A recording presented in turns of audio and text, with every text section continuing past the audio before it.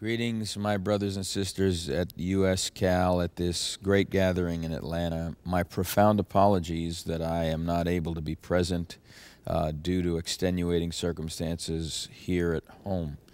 Uh, but I do want to share my heart relative to the topic of leaders and self care with the hopes that it will provide some valuable and important tools for all of us who, as leaders and as pastors, are involved in the day to day work of caring for the sheep.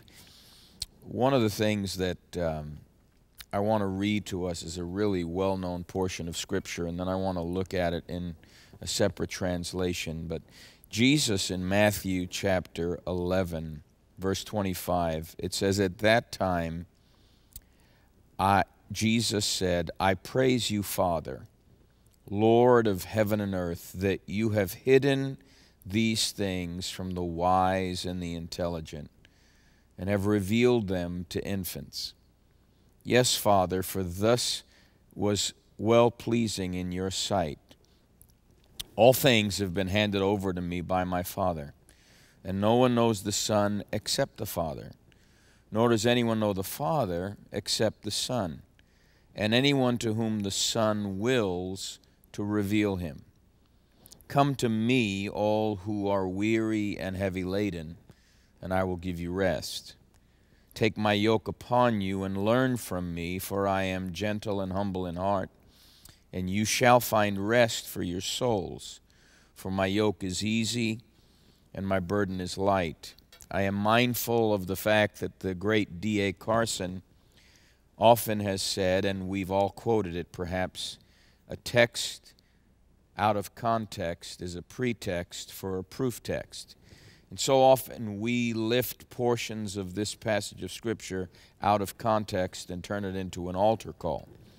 When in actual fact, it's an invitation to something far deeper and far more profound, especially for a leader.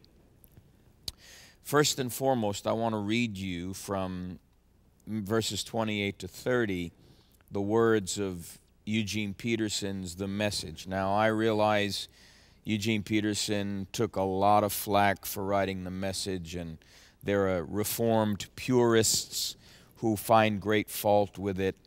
I have a deep, profound respect for Eugene Peterson and have for many decades. I have sat and listened to him over and over again. I consider him one of those great pastoral voices whose sound theology has been grounded in dealing with the day to day human experience that people go through. And in his own personal life, the way he has cared for his own journey uh, is an example that I would say that all of us would learn well by listening to his teachings um, to follow. But in his portion of this scripture, he says, Are you tired, worn out? Burned out on religion, come to me. Get away with me and you'll recover your life. I'll show you how to take a real rest. Walk with me and work with me. Watch how I do it. Learn the unforced rhythms of grace. I won't lay anything heavy or ill fitting on you. Keep company with me and you'll learn to live freely and lightly. My beloved brothers and sisters, we live in an adrenaline rush culture. And as pastors and leaders, we personally have to learn first how to care for ourselves if we are to truly care for those that God has entrusted to us to care for. I was listening to some young preachers on television the other night, and I was deeply concerned over their conversation about ministry as a vehicle for career advancement. I don't know when the call to pastoring became something that now has driven us to 15 minutes of fame. I don't know when that happened in this past number of years but it has skewed our ability to understand that we are here to feed the sheep, to care for the sheep, to provide the kind of adequate nurturing and nourishing that enable them to have a deeply profound experience on an ongoing basis with God. The challenge with us as preachers is that while we may react to a young generation that calls preaching an opportunity for career advancement, we also are quite professional at what we do. We know how to crank out sermons. We know how to make the crowd get excited. We know how to do all sorts of things that kind of make church work. And yet, the danger in all of that is that we can miss God by a mile because we have so perfected the art of pulpiteering that our lives are shallow and empty, not because we're not studying, not because we're not doing the work, but because we ourselves ignore the very mandate of Jesus in this passage. And here's what I want to say about D.A. Carson's term uh, text uh, a text without a context is a pretext for a proof text. We always jump to come to me, all you who are weary and heavy laden, and we turn it into an altar call. Well, maybe it needs to be an altar call, but an altar call that alters leaders into a whole new place of self care. Because it opens with these words At that time, Jesus said, I praise you, Father Lord of heaven and earth, that you have hidden these things from the wise and the intelligent and have revealed them to babes. I want to suggest to you that the weary and the heavy laden that are in verse 28 are the wise and the intelligent Jesus is addressing in verse 25. And I think sometimes as servants of Christ, we handle the book so much we know the text so well that we deceive ourselves into thinking that because we know the text, we know the one whom the text is speaking of. And we offer our study, we offer our effort and our labor without the real ongoing personal intimacy that requires getting away from it all and learning those unforced rhythms of grace. I have a saying that I have used many times with the leaders that I touch, as well as with our own congregation. And it's these words based on the phrase Jesus said, freely you've received, freely give. We're always giving. We're always giving. But I wonder how much we are in the posture of learning how to receive. And here's what I often say. You can't give what you don't have, you can't have what you haven't done, you can't do what you haven't been, you can't be what you haven't believed. You can't believe what you haven't received, and you can't receive what you haven't been given so you can't give what you don't have. And you can go through that entire statement and break it down piece by piece and come right back full circle to I can't give what I don't have. And in an adrenaline rush culture, leaders first and foremost need to invest in rest when you think about your schedule, when I think about my schedule, and all of us have pretty full schedules, we rise up early, we go to bed late, and oftentimes we ignore the fact that we just might be eating the bread of painful labors because we're so used to doing so much that we have forgotten how to be in the presence of God. One of the things that Eugene Peterson often talks about is pastoral Sabbaths. Now, I'm going to tell a story. I'm, I'm going to uh, be very guarded and respectful because it was a story that was personally told to me by his son Eric, uh, who is also a Presbyterian pastor.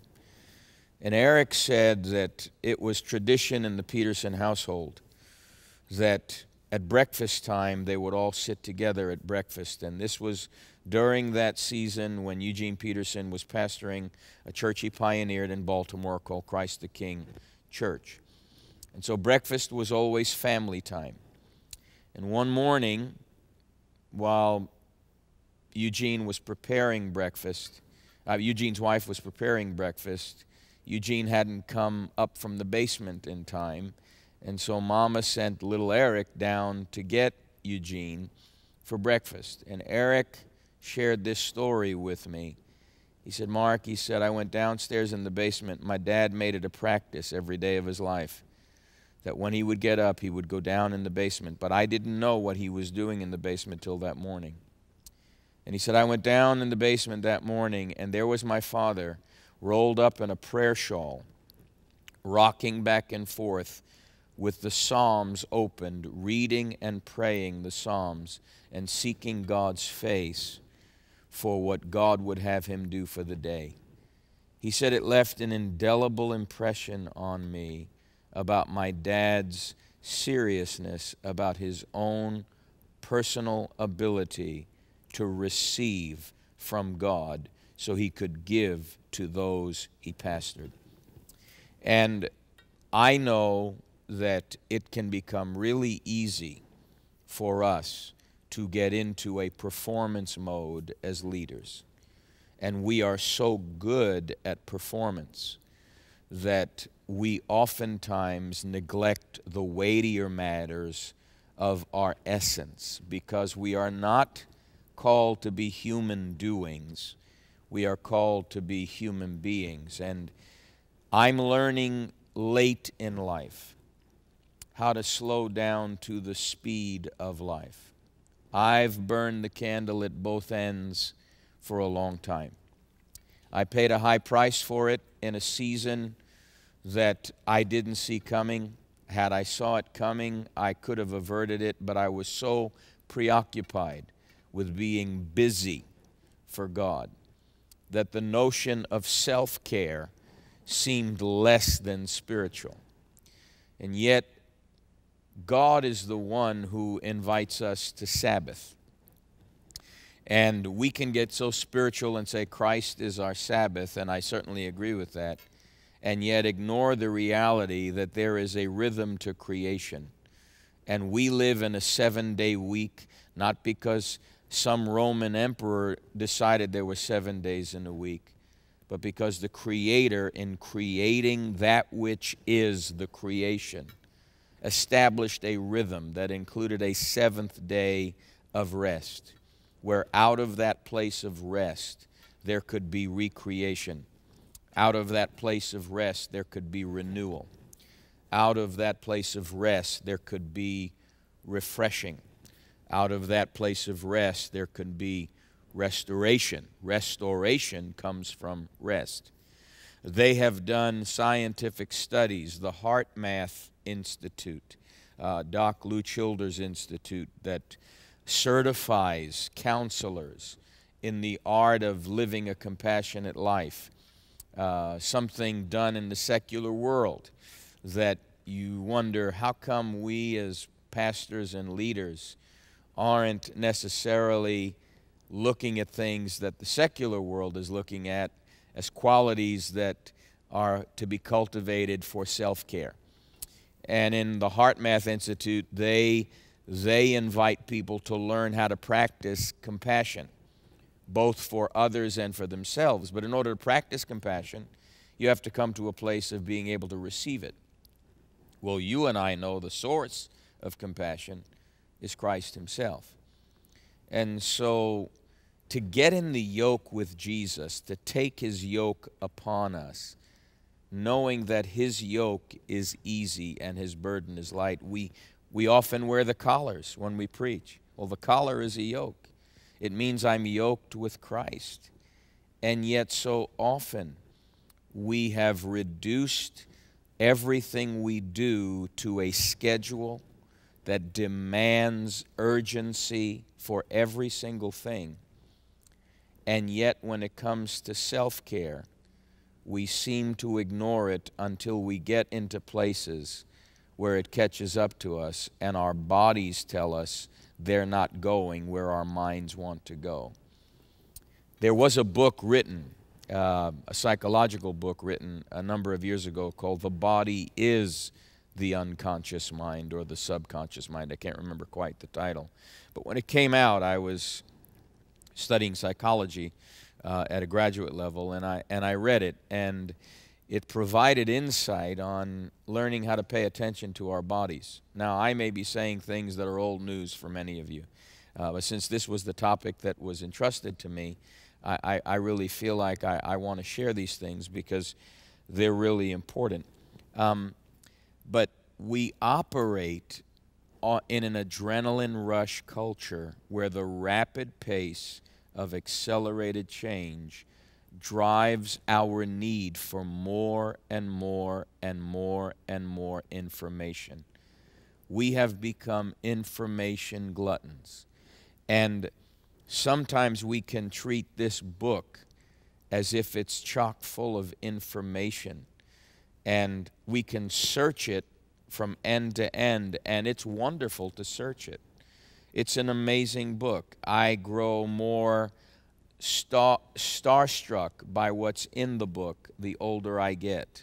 I remember Judson Cornwall telling us when we were in Bible school that we need to eat the book based on Ezekiel being told to eat the scroll and John the Revelator being told to eat the book in the book of Revelation. And Judson did a whole thing on eating the book. And I want to eat the book. I want to be a man of the book. I want to be a person of the book. I, I want to hold the book in high regard, and I do. But I also know that in the book, Jesus said, You search the scriptures because you think that in them you have eternal life, but you refuse to come to me. And I have found in my journey that it's easier to go to the book and look for stuff than it is to pull back and just get quiet and come to the place of what I call the quiet, where I learn how to receive so that I can give. I'm hungry at this season of my life for something beyond what we've had. I'm hungry for something more than what we right now are calling church. I see that we're in a day where transitions are impacting our view of the Scripture our view of the church culture. It has become popular to demonize the church for which Christ died, his bride. And God help us that we should honor the church for which Christ died. This is his bride, and we have been called to serve his bride so that she can be presented to him without spot and blemish. But in order to do that, we need Him to minister to us. We need Him to pour into us. I've been reading the lives of some of the great saints of God that have been mightily used of God lately. I've gone back and looked at John G. Lake. I've gone back and looked at A.B. Simpson. I've gone back and looked at Dr. Charles Price, who was one of my heroes. I have every copy of The Golden Grain.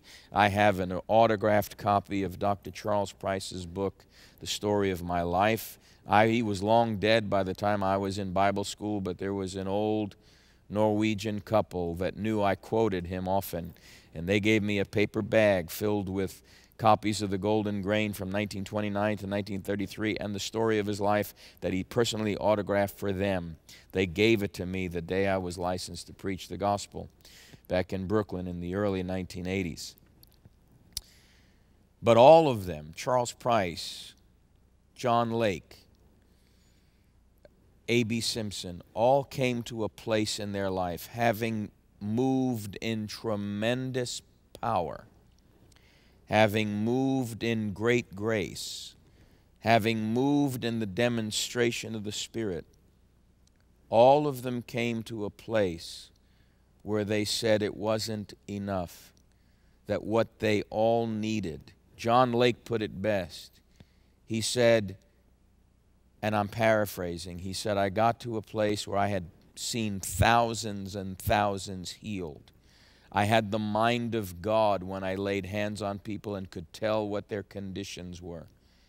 He said, but I got bored and I got I, I'm, I, I want to say worn out. I'm trying to remember the exact words he used. And he said, I realized what I needed for myself was a fresh baptism from the ascended, glorified Christ. A.B. Simpson said the Holy Spirit told him, Your problem is that you can't receive from me because your dogmatics has gotten in the way of our relationship. And that's another paraphrase.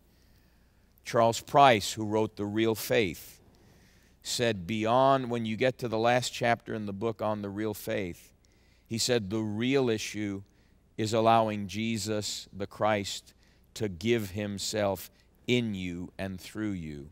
And that requires being in a place of letting him minister to you. That Christ in you, Christ in me, the hope of glory, requires we learn to receive from him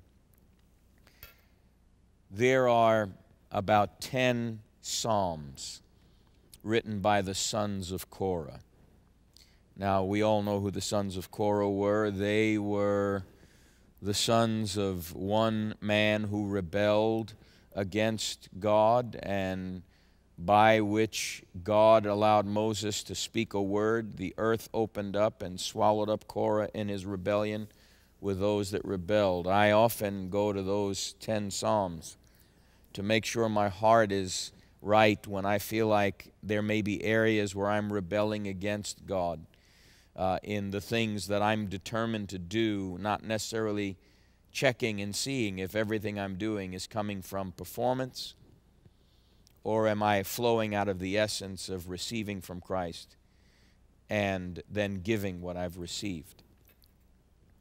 And those Psalms are a cure for self effort. Those Psalms by the sons of Korah are a cure for performance driven, restless energy.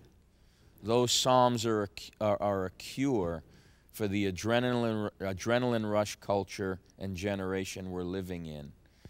And in Psalm 46, we all know it, the sons of Korah wrote that psalm. And in Psalm 46, verse 10, it says, Be still and know that I am God. Be still and know.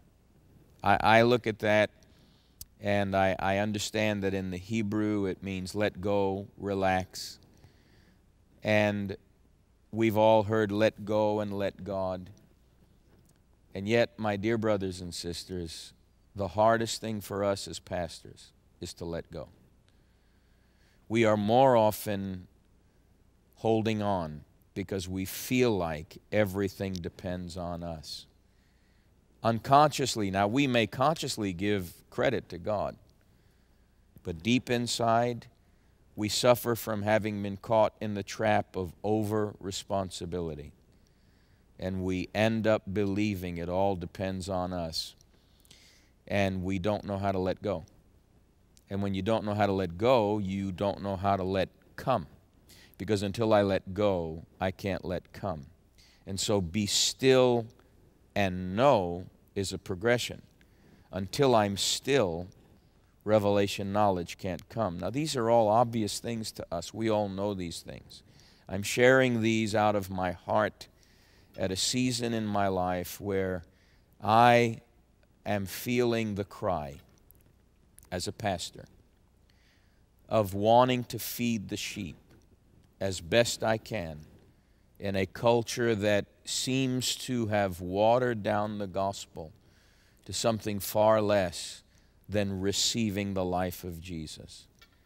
But if all I do is give them my studies, if all I do is give them my intellectual apprehension of a text, if all I do is give them the labor of my hours of perfecting the craft of preaching, I've failed. Judson Cornwall made a statement to us in Bible school years ago. He said, We are called to be adequate ministers of a new covenant, ministers of the Spirit.